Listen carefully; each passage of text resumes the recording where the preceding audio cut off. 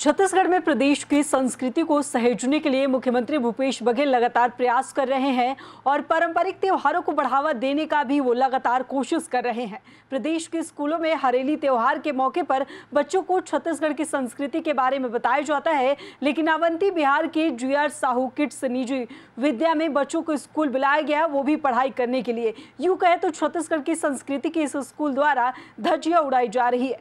आप भी देखिए ये नज़ारा। आज छत्तीसगढ़ का पारंपरिक त्यौहार है, छत्तीसगढ़ का पहली त्यौहार है, हरेली त्यौहार। इस मौके पर छत्तीसगढ़ सरकार ने छुट्टी की घोषणा की है और आप मेरे पीछे देख सकते हैं कि जे आर किड्स स्कूल है, अवंती बिहार के पास, यह स्कूल खुला है। और स्कूल खुला है और इसमें प्राचार्य का कहना है कि इसका कोई आदेश नहीं जारी किया गया है। मेरे, देख सकते हैं कि बच्चे किस प्रकार यहाँ लाइन में लगे हुए हैं प्रार्थना के लिए और प्राचार्य लगातार कर रहे हैं कि यहाँ प्रचार से प्रचार कुछ कहना चाह रहे हैं उनसे बात करते हैं। क्या कहना चाह रहे हैं आप? गवर्नमेंट का आदेश है क्या छुट्टी का?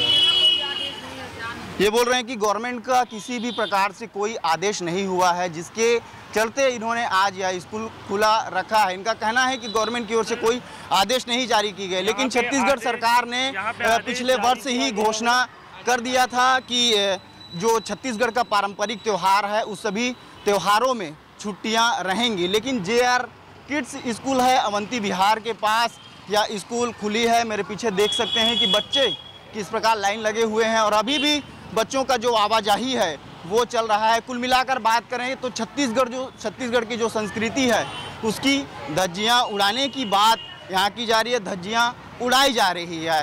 तो ये निश्चित तौर पर देख सकते हैं कि इस पर संज्ञान लेकर जो छत्तीसगढ़ शासन है, और स्कूल विभाग है, उसको कार्यवाही इस स्कूल के ऊपर करनी चाहिए। कैमरा पर्सन ताकेश्वर साहू के साथ भूपेश रांडिया